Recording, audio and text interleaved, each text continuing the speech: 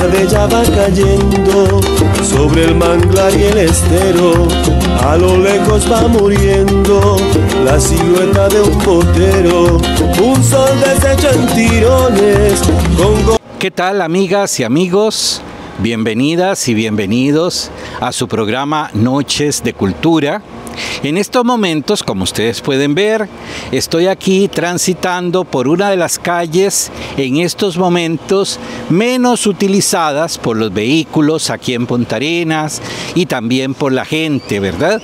Sin embargo, esta calle, que es la última de Punta Arenas, es la calle que da al estero, en esta calle fue, se dio mucho, este, tuvo mucha importancia en épocas anteriores, porque era la calle que conectaba eh, lo que hoy es el gimnasio municipal Francisco Robledo Ibarra, que anteriormente fue la Plaza de los Caites, y la parte del mercado municipal de Punta Arenas.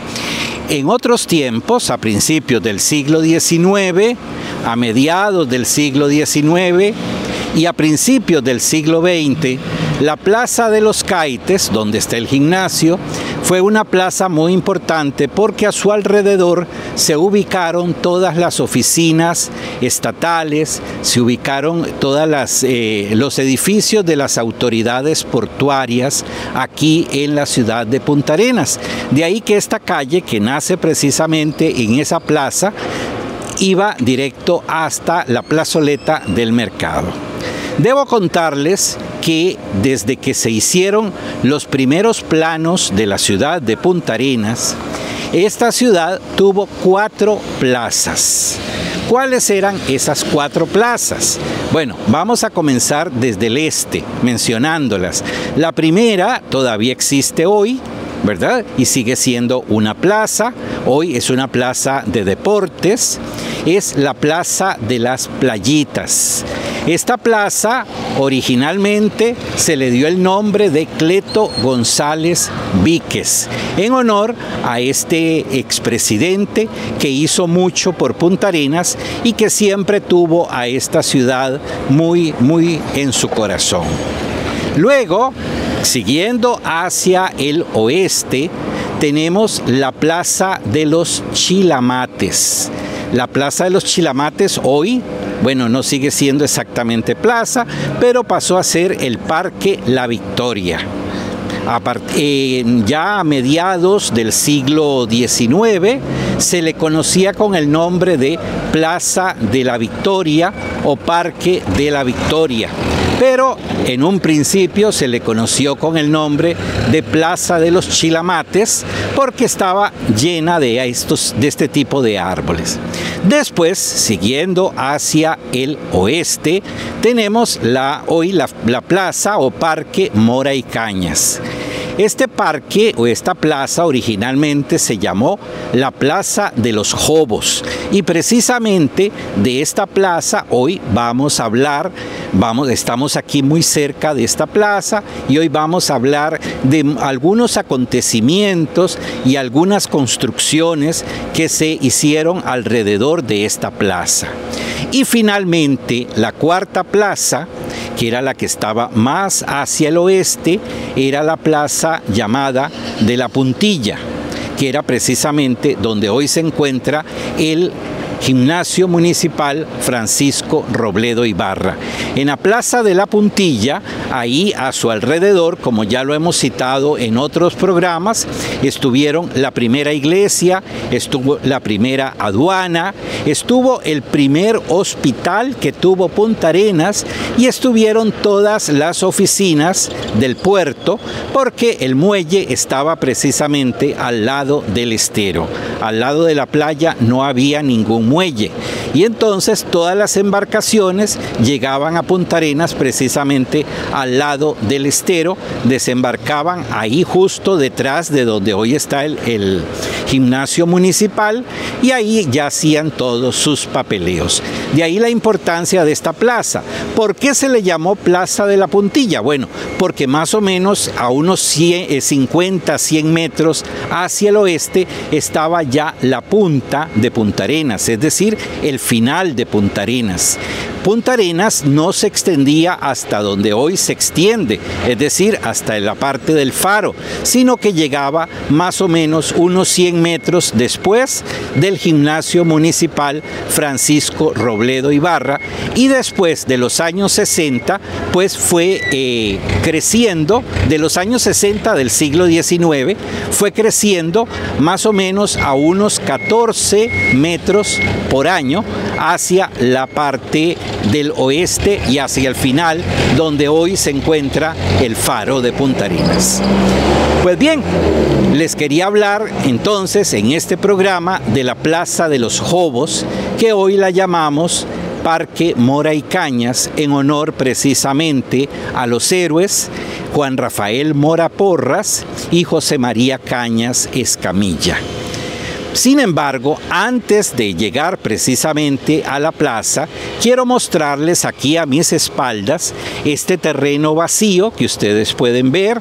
Este terreno se ubica en la esquina noreste del antiguo Palacio Municipal de Punta Arenas.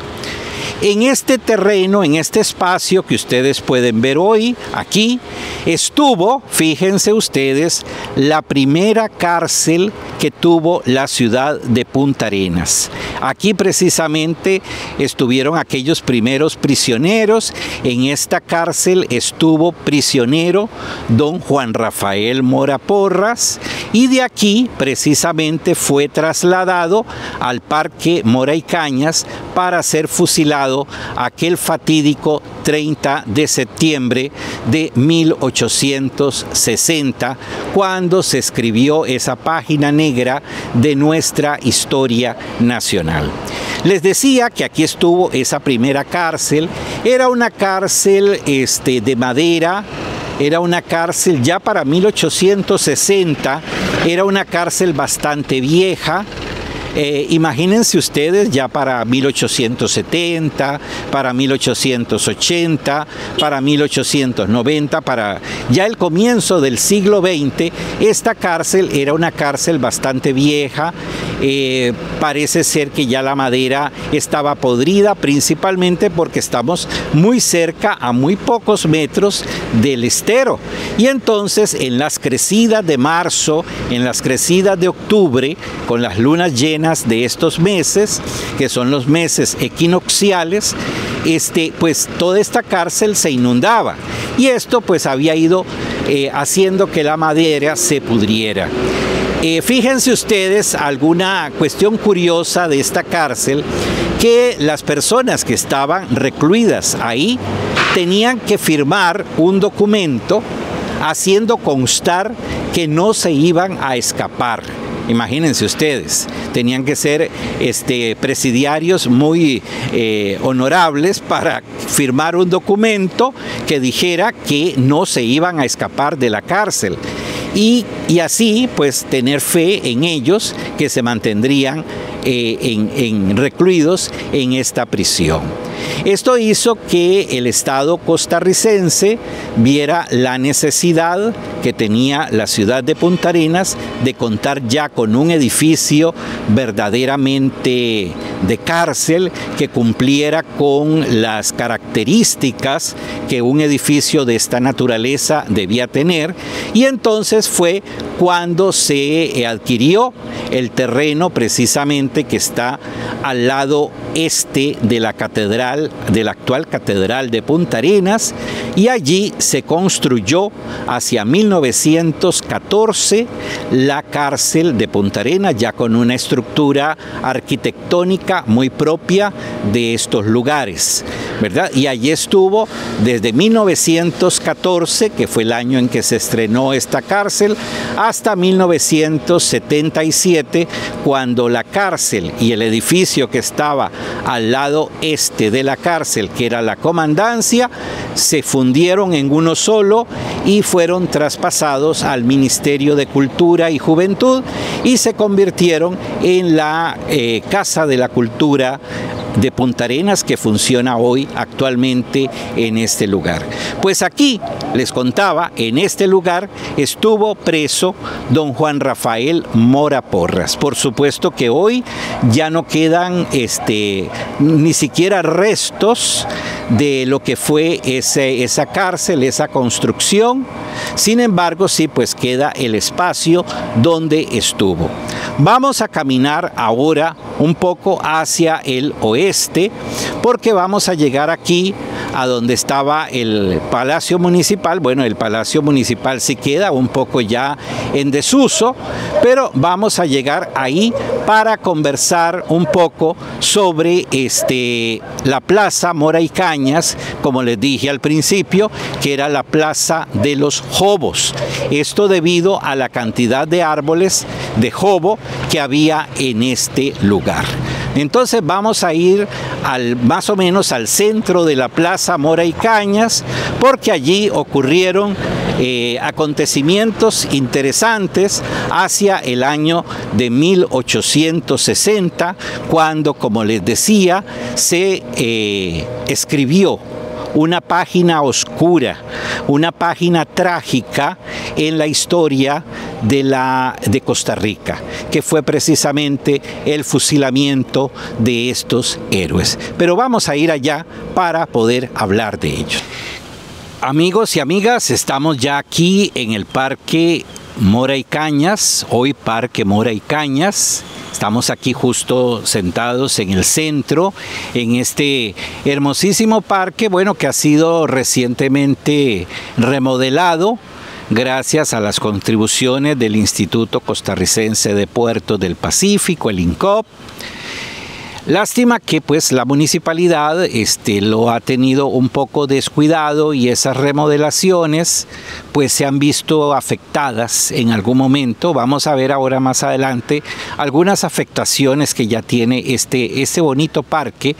Y bonito no solo por el espacio, físico que es en sí el Parque Mora y Cañas, sino por la trascendencia histórica que tiene tanto para Punta Arenas como para la historia de Costa Rica este lugar. Les decía entonces que estoy aquí en el centro del Parque Mora y Cañas, el Parque Mora y Cañas que antiguamente se denominó Plaza de los Jobos debido a la gran cantidad de árboles de jobo que había aquí. Bueno, hoy, ¿qué tenemos en este parque? Bueno, ahora vamos a ir viendo. En este parque tenemos uno, el primer acueducto que tuvo la ciudad de Punta Arenas. También en este parque tenemos un edificio que ahora eh, el compañero de cámaras nos lo va a mostrar, que es que fue el Palacio Municipal de Punta Arenas.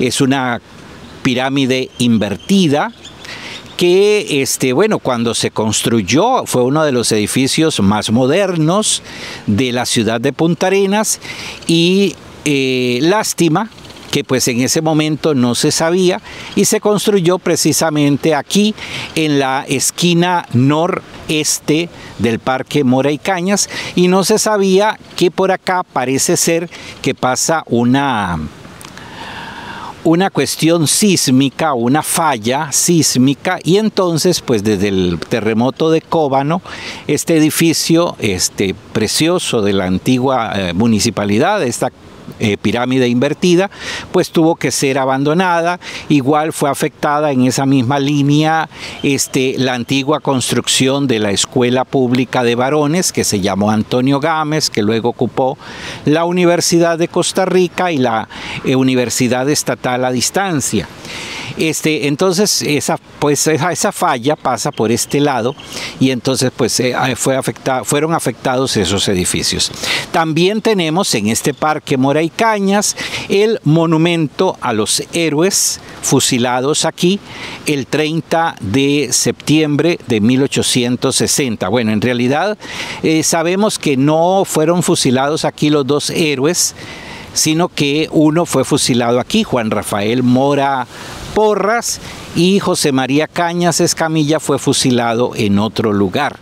Pero bueno, aquí es donde están los monumentos que eh, conmemoran que recuerdan esa página triste de la historia costarricense. Entonces, eh, este parque tiene un gran valor histórico. Tenemos entonces el Monumento de los Héroes, tenemos entonces el edificio ya ruinoso de la pirámide invertida que fue el Palacio Municipal de Punta Arenas y también en el puro centro de, este, eh, de esta plazoleta, de este parque, Mora y Cañas, tenemos el edificio que albergó el primer acueducto de Punta Arenas, que parece ser que fue en aquellos tiempos un edificio muy, muy importante. Estamos en su programa Noches de Cultura, estamos transmitiendo, eh, grabando este programa desde el Parque Mora y Cañas de Punta Arenas y vamos a hablar sobre este parque que en realidad se convierte en un monumento histórico. Vamos a ir a un corte comercial y ya regresamos. En UH descubrí el poder de saber hacer las cosas. Destacá como líder en ingeniería practicando en nuestros laboratorios tecnológicos y adelantate a los retos del futuro, que es hoy.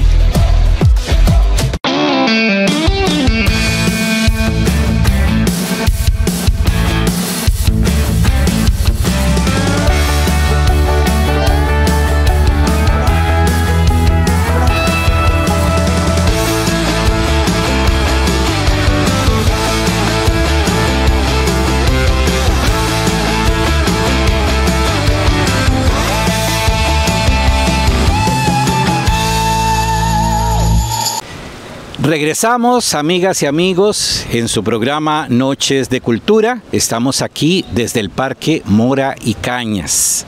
Precisamente estamos aquí al lado de donde este fue eh, construido en la remodelación que se hizo de este parque, el pebetero para eh, rendirle homenaje a los héroes fusilados en este lugar, ¿verdad? Y también debo indicarles que en este lugar estaba poblado de árboles de jobo y fue precisamente bajo un árbol de jobo que fueron fusilados los héroes aquel fatídico 30 de septiembre de 1860. El monumento lo tenemos aquí a este, al lado del estero, al lado norte. Vamos a ir acercándonos al monumento. Este monumento fue remodelado, ¿verdad? Los bustos sí se usaron y la columna trunca este, se usaron, pero eh, toda la parte de la estructura arquitectónica del monumento eh, fue este, remozado en esta reconstrucción o esta remodelación que se hizo del parque este, Mora y Cañas. Eh, debo indicarles que este monumento a los héroes se construyó allá por el año de 1919, es decir, más o menos 79 años después de que habían sido fusilados los héroes aquí. ¿Por qué se construyó el monumento en 1919? Bueno, hay una explicación, pero que en estos momentos no vamos a entrar en detalle de esta explicación, porque eh, ustedes harán sus cálculos.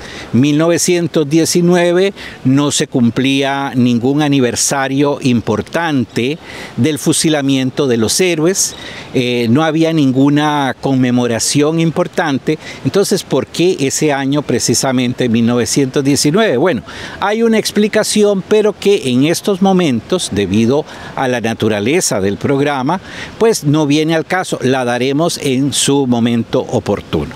Pues debo indicarles que aquí precisamente donde estoy eh, parado ahorita, ¿verdad? Tal vez un poquito, unos metros más atrás, unos metros más adelante, pues fue fusilado el expresidente de la República, declarado héroe nacional, don Juan Rafael Mora Porras, y uno de sus más allegados, eh, colaboradores en aquella campaña de 1858, 57, 56.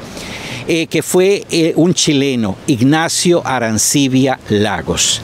Estos dos héroes, don Juan Rafael Mora Porras y don Ignacio Arancibia Lagos, fueron fusilados aquí. Ese es 30 de septiembre de 1860.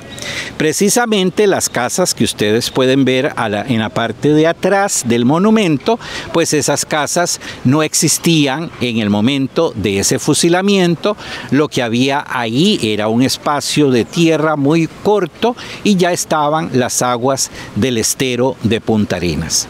Debo indicarles que este, a este lugar se convocó para ese día, 1860, por parte del gobierno de Costa Rica, se convocó a todos los hombres, hombres, no mujeres, hombres, trabajadores del gobierno aquí en Punta Arenas para que vinieran obligadamente a presenciar el fusilamiento de don Juan Rafael Mora Porras y de don Ignacio Arancibia Lagos.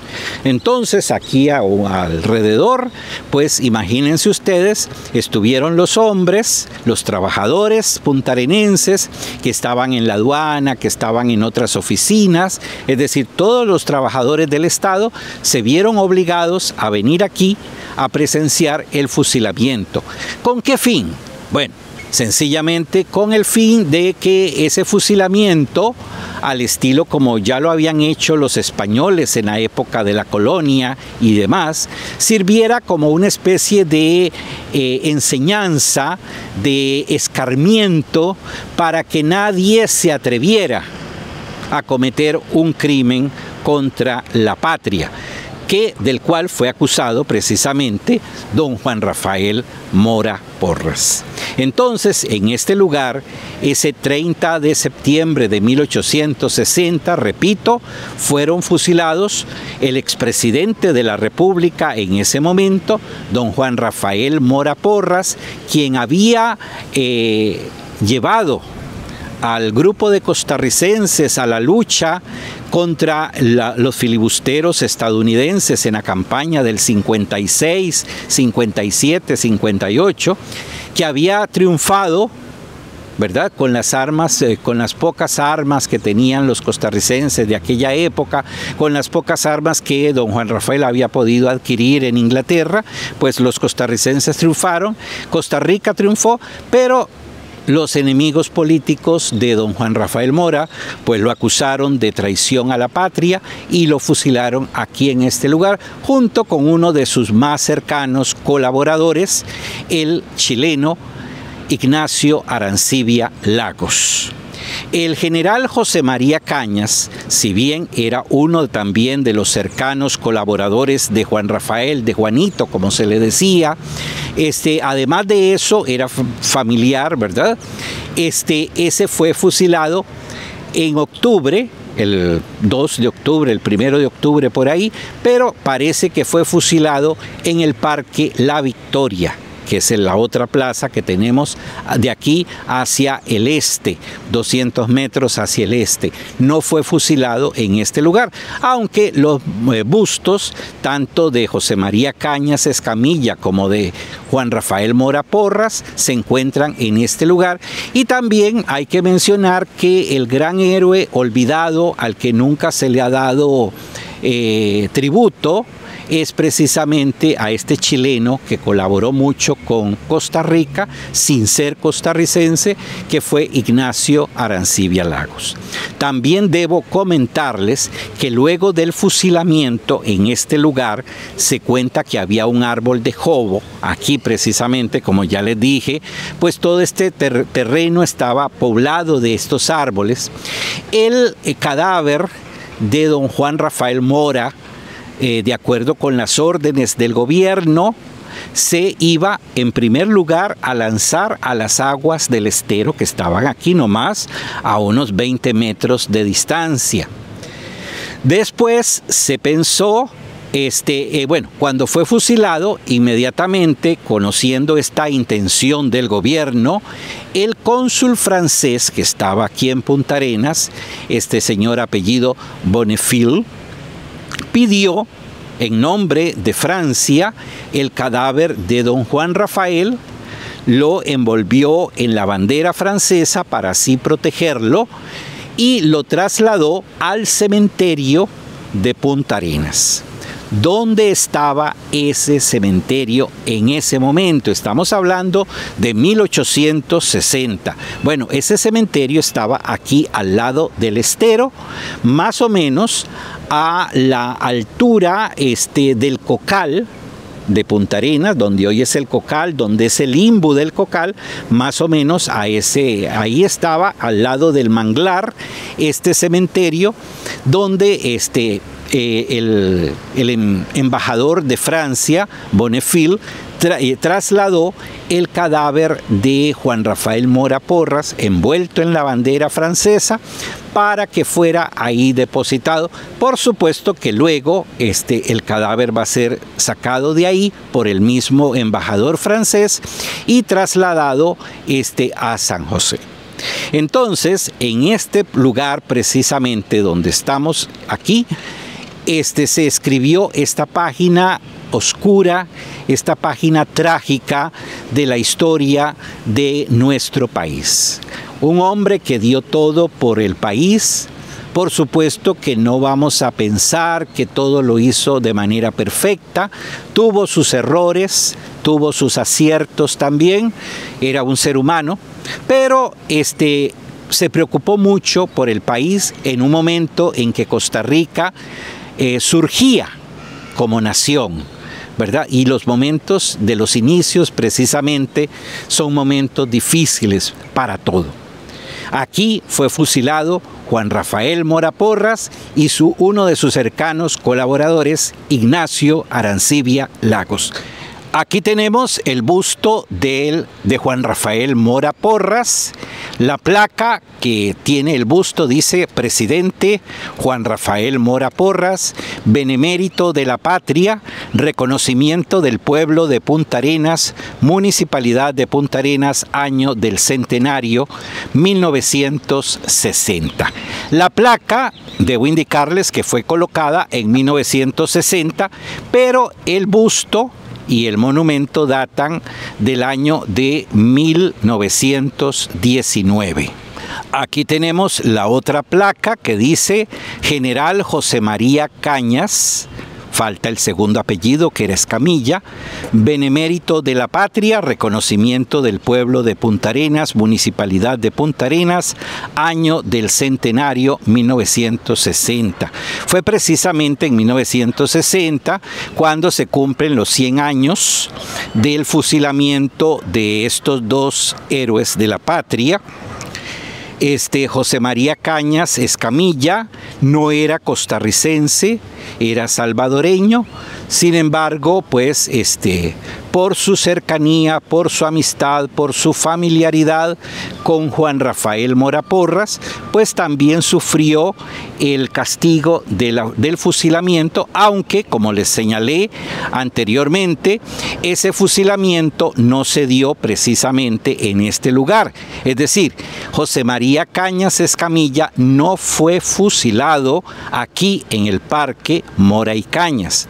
Según parece, fue fusilado en la Plaza de la Victoria o Parque de la Victoria, que está 200 metros al este de aquí, porque precisamente este, en este parque había un monumento dedicado a este señor, a José María Cañas, debido a que él había sido eh, una de las grandes autoridades que tuvo Punta Arenas en, antes de 1860.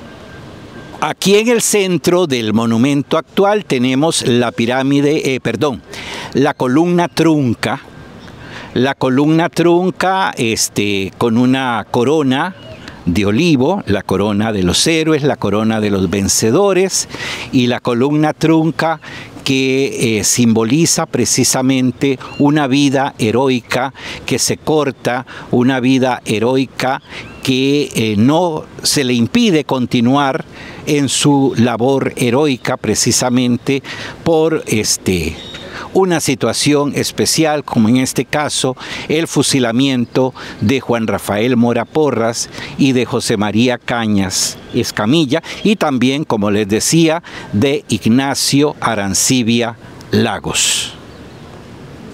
Lastimosamente, como les decía, eh, se hizo una hermosísima remodelación del Parque Mora y Cañas, no obstante, hoy con poco tiempo de haberse pasado esa remodelación, vean cómo está ya parte del, del monumento a los héroes, todo este, ya carcomido. Esto no se carcome con el tiempo, no es el tiempo el que ha hecho esto, sino los seres humanos que llegan, se sientan en esa parte y empiezan con sus dedos curiosos o traviesos a ver cómo destruyen las cosas acá. Igual en la parte frontal que está pintada de blanco, este, bueno, ahorita está un poco limpio, pero vean cómo están las marcas de los zapatos, de las tenis, de los muchachos que vienen acá.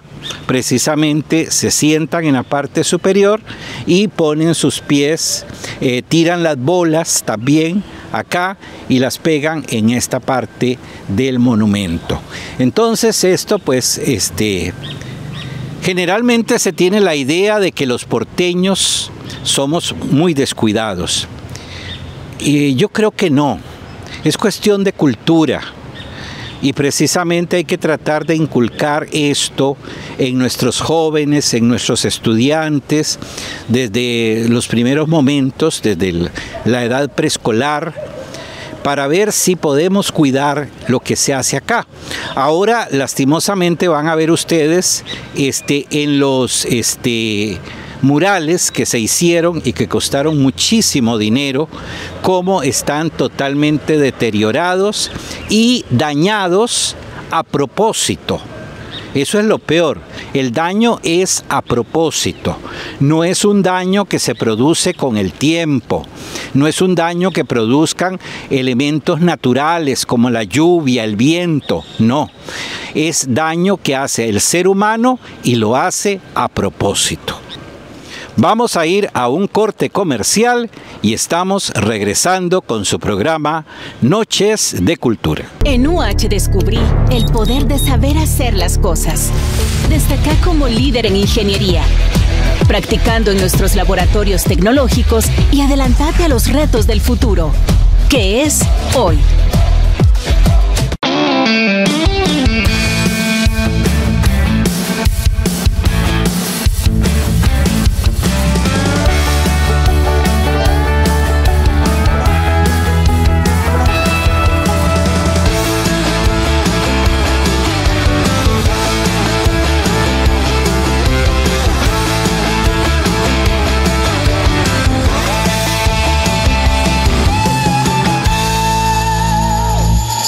Regresamos con su programa Noche de Cultura. Estamos aquí grabando desde el Parque Mora y Cañas, antigua Plaza de los Jobos, en Punta Arena Centro.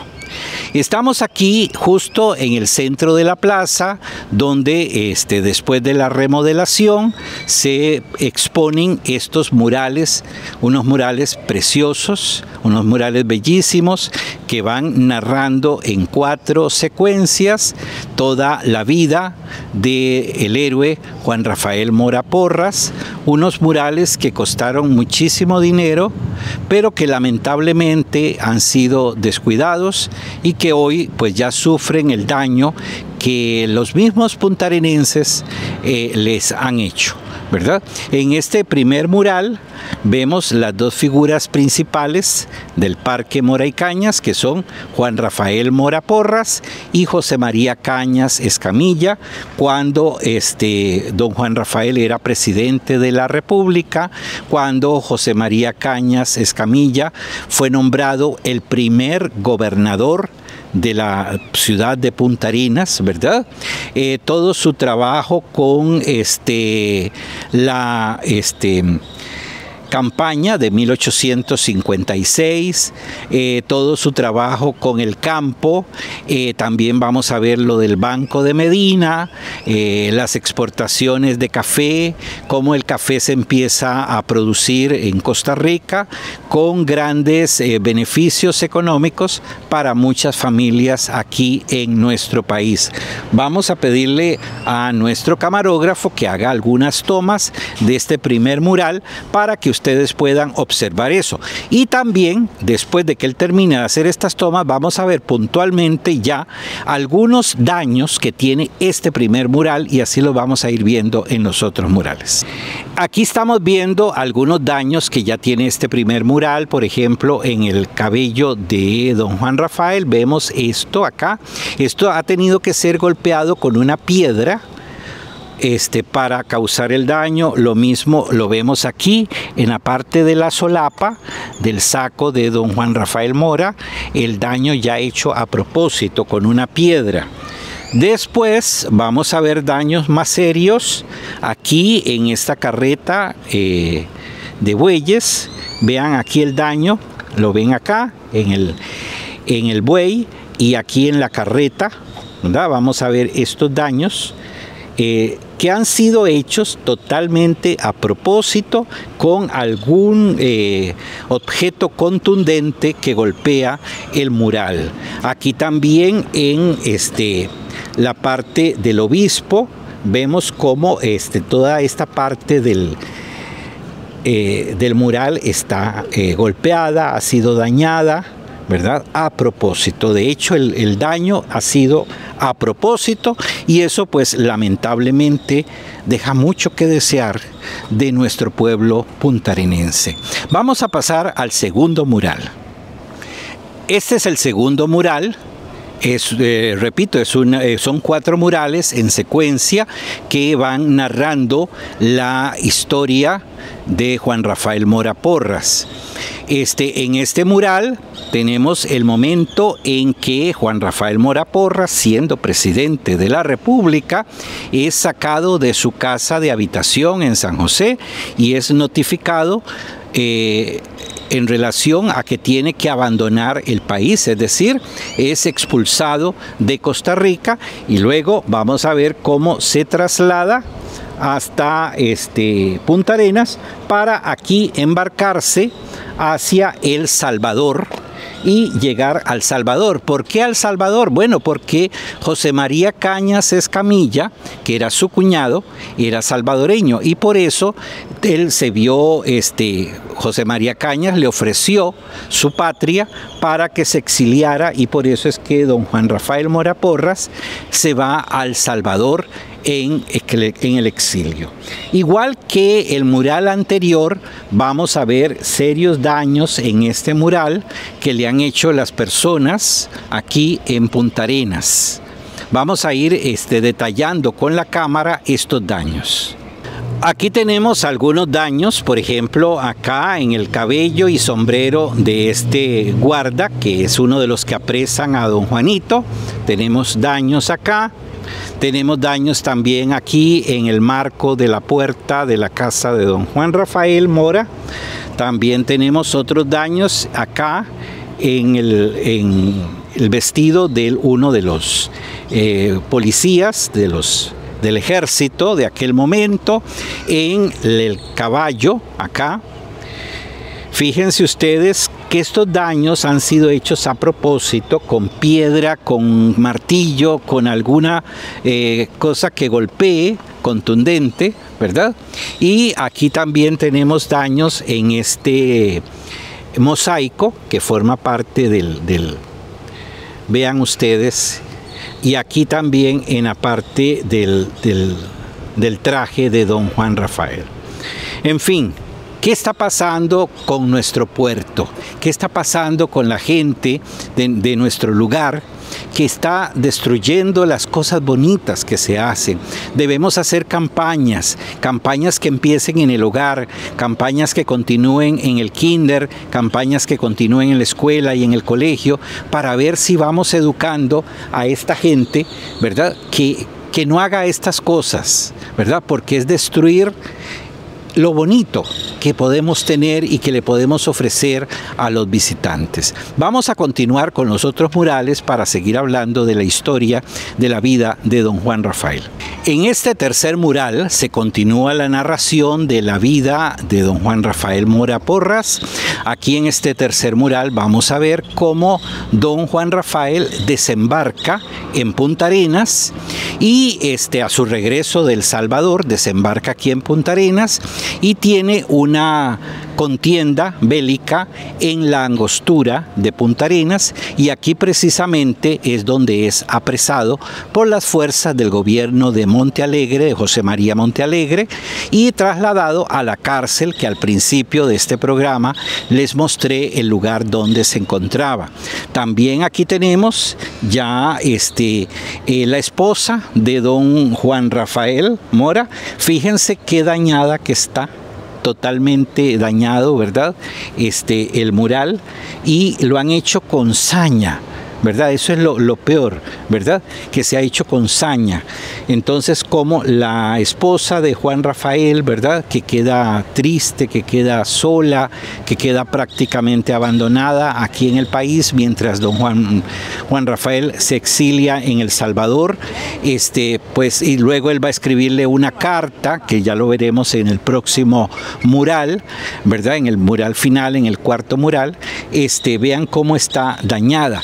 Y y vamos a ir detrás de este mural para que ustedes vean el daño que le ha propinado a este trabajo artístico el pueblo de Punta Arenas. Aquí estamos en la parte de atrás precisamente del tercer mural para que ustedes puedan apreciar cómo este, los muchachos, los chiquillos han venido con sus uñas a levantar el repello precisamente de este mural y vean precisamente ya cómo tienen todo esto, vean el suelo cómo está de pedacitos de repello que han ido levantando y esto tienen que ser los niños, los muchachos del colegio, ¿verdad? Fíjense acá ya tienen casi como una especie de mapa, de mapa mundi, ¿verdad?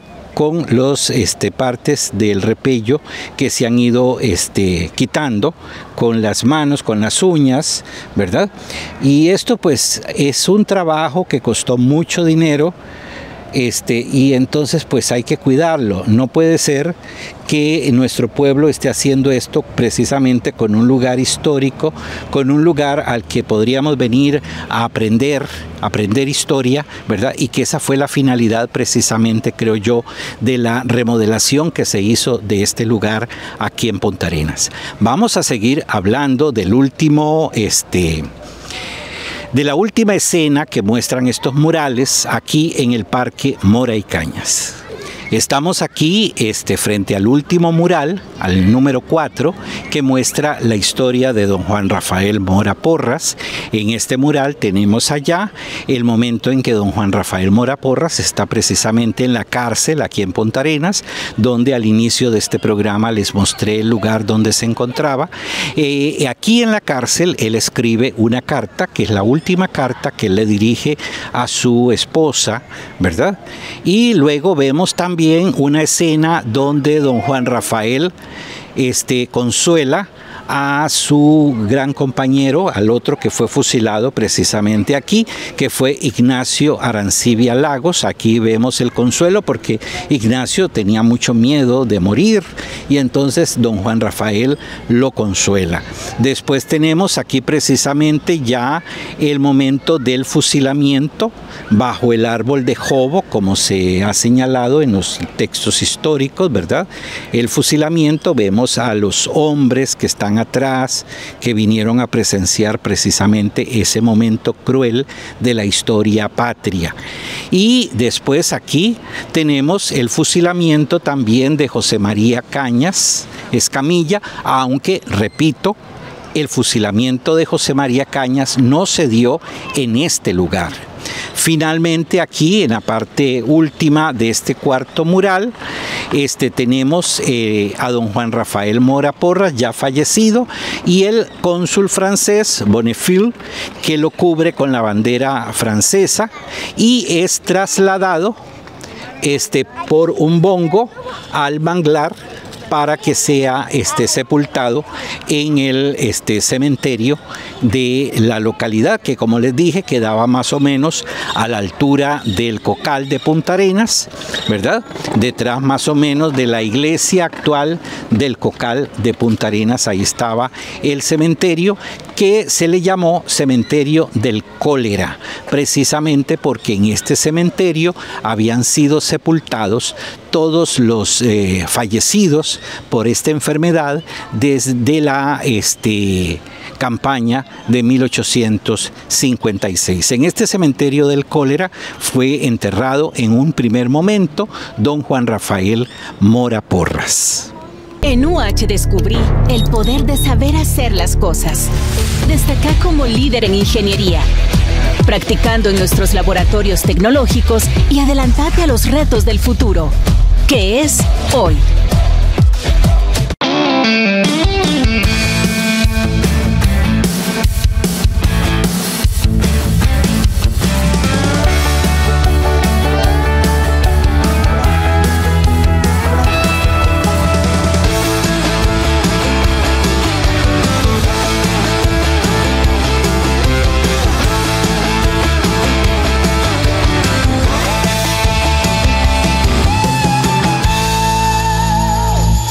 Finalmente, en este parque Mora y Cañas, precisamente en su centro, se levanta un edificio este, imponente, imponente desde el mismo momento en que fue construido, que es el edificio que albergó el tanque de agua del primer acueducto que tuvo Punta Arenas. Este edificio que tengo aquí a mis espaldas fue construido en el año de 1936, precisamente por el durante el gobierno de don Ricardo Jiménez Oriamuno, otro de los eh, expresidentes que tuvo gran este, amor por Punta Arenas, inclusive la calle número cero de nuestra ciudad, precisamente se llama calle Ricardo Jiménez Oriamuno. Este, eh, esta construcción este, también estaba eh, don León Cortés Castro, ¿verdad? Como secretario de fomento y director de la gran obra fue el doctor Arturo Tinoco Jiménez. Este, esta obra fue construida en cemento armado, es decir, aquí no hay block, aquí es varilla y cemento. Eso es todo lo que hay aquí, varilla y cemento. Este, en la parte superior se alberga este gran tanque que, tenía todo el agua de la ciudad de Punta Arenas en aquel momento. Antes de 1936, el agua en Punta Arenas se obtenía de pozos o bien se traía de los ríos que desembocan en el estero de la ciudad de Punta Arenas, el río Naranjo, el río Ciruelas, principalmente. Este, después de este acueducto ya el agua se empezó a traer de ojo de agua y se llegaba hasta aquí. Este, en, en la construcción de este acueducto Lástima, bueno, que ahora está totalmente cerrado precisamente para evitar el vandalismo aquí en la ciudad de Punta Arenas, pero este, en la parte interior de este edificio tenemos una escalera en forma de caracol. Esta escalera en forma de caracol fue propia de la época en que se construyeron estos edificios y solo hay tres, tres este, escaleras de, en caracol, ¿verdad? Que una está precisamente aquí, la otra está en la construcción de la aduana de Punta Arenas y la otra está en la estación del ferrocarril al Pacífico en la ciudad de San José. Fueron tres las escaleras de caracol que se construyeron en la época del cemento armado, en la época de este, don León Cortés Castro. Y les digo, esta fue eh, la primera, el primer acueducto que ya tuvo Punta Arenas, ¿verdad? Aquí en la ciudad. Estamos aquí con una de las vecinas insignes del Parque Mora Cañas, con doña Dulce Humansor Alvarado, que se ha dado a una tarea titánica, como ella misma la llama, que es tratar de cuidar esta, esta remodelación que se hizo de este centro este, histórico y, social de Punta Arenas. Pero yo quisiera que no fuera solo mi voz, que se ha venido quejando de este parque a lo largo de este programa, sino que la escuchemos a ella. Vamos a escuchar a doña Dulce Humansor Alvarado. Bueno, una, una pena que este parque, que es de todos y de todas, eh, las personas que habitamos Punta Arenas y no solamente Punta Arenas, porque esto es un monumento nacional, ¿verdad? Eh, desde tiempos inmemoriales, los y las puntarenenses le rendimos honores a las personas que fueron asesinadas en este sitio y que luego se construyó este, este parque. Seguimos adelante con un gran pesar en el corazón de ver que las personas que vienen acá no tratan el parque con el cariño que debemos tratarlo todos quienes visitamos el parque. Eh, este parque es eh, con el erario público de más de 600 millones de colones, se realizó la remodelación. La remodelación, como todos los otros proyectos que financia eh, con fondos públicos el INCOP, es entregada en manos del municipio. Y es bien doloroso que como quien dice y, decimos en el pueblo, bueno, aún es, regalado, entonces no nos interesa. Y dejan eh, que que este, esto se haya ido deteriorando.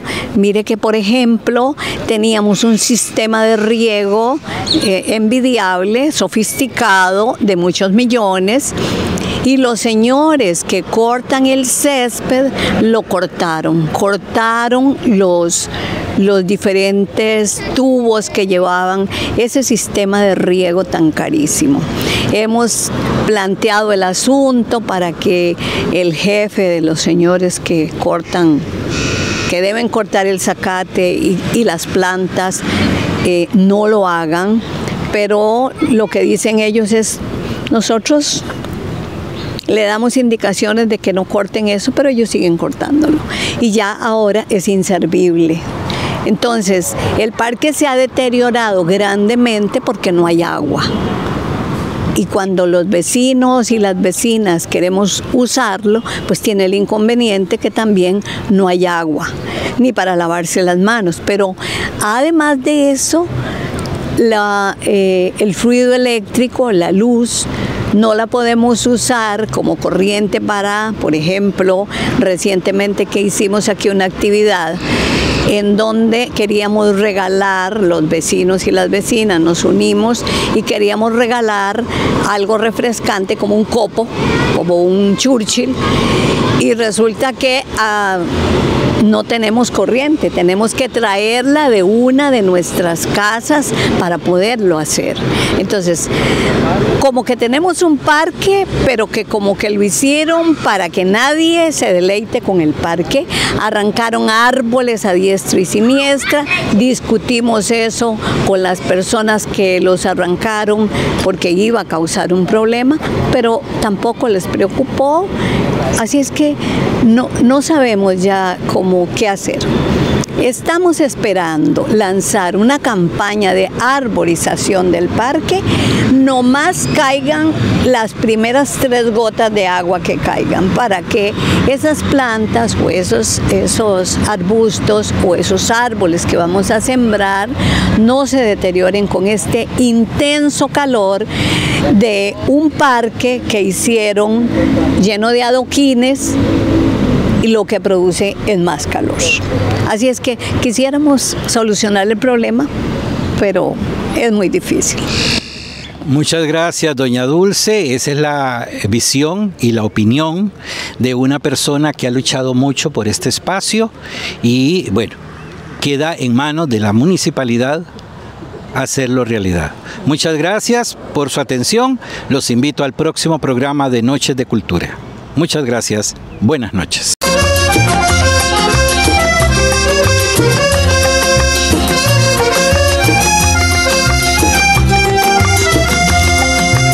La tarde ya va cayendo sobre el manglar y el estero. A lo lejos va muriendo la silueta de un potero. Un sol deshecho en tirones con